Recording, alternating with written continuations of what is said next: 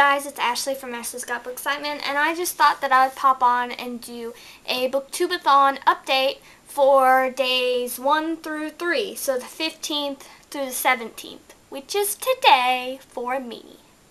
So it's currently 7.30 on Wednesday, July 17th, and my booktubeathon has been going okay. Uh, I know at the beginning I said that I wasn't participating in any of the challenges, and I think that ended up being a good thing for me because I don't think I would have been able to meet any of the challenges anyway. I would have failed miserably at all of them, and that probably would have made me feel worse. So, on Monday, the first day, I got kind of a late start, just from laziness, really. So, I started off my booktubeathon with Flesh and Bone by Jonathan Maberry.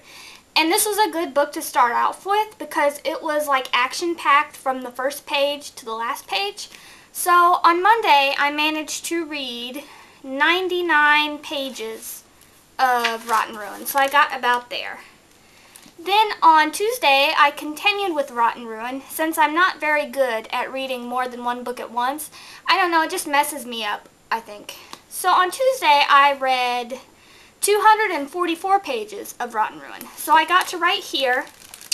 Um, I was so close to 300, guys. So close, but I didn't make it. I didn't. And then today, on Wednesday, I finished Rot and Ruin. So I read 126 pages of it, and it was a really good book. I can't wait for for the fourth one, which it could be the last one, I don't know. But Guys, one of my characters, one of my really... Jonathan Maberry has done this to me twice now. In the second book, he he did something to one of my favorite characters.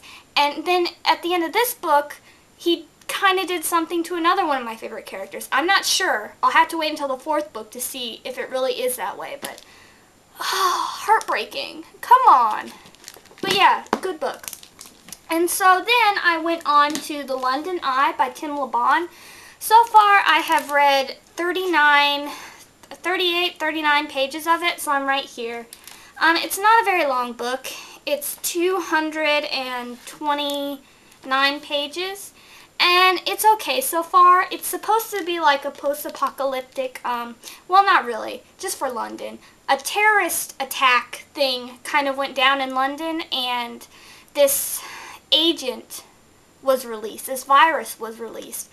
And so London has been sealed off from the rest of England, the rest of the public, but there are rumors that there are people that are still alive there and have developed powers and yeah, that the military takes these people that are still in London, like grabs them and experiments on them and stuff like that. So it sounds really cool. I've heard it described as Hunger Games mixed with X-Men. I think that's what they said. Um, and it is okay so far. I, I'm not feeling, I'm not feeling like I'm close to the characters because it kind of just throws you in and it doesn't give you a lot of backstory.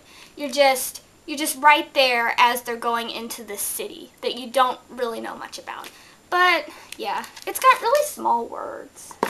But anyway, if I finish this, I don't know when I'll finish this, then I'm going to go on to Eve by Anna Carey, which I just got from the library. And this one is on an interlibrary loan, so I have to read this one faster than my other ones because I won't be able to recheck this one out. So yeah, that's my booktubeathon update. This took much longer than I had originally planned. Um, if you guys are participating, tell me how you're doing, if you're meeting challenges, if you're being awesome, and if you're having fun with Booktubeathon. So that's all I got for you guys. I will see you later. Bye!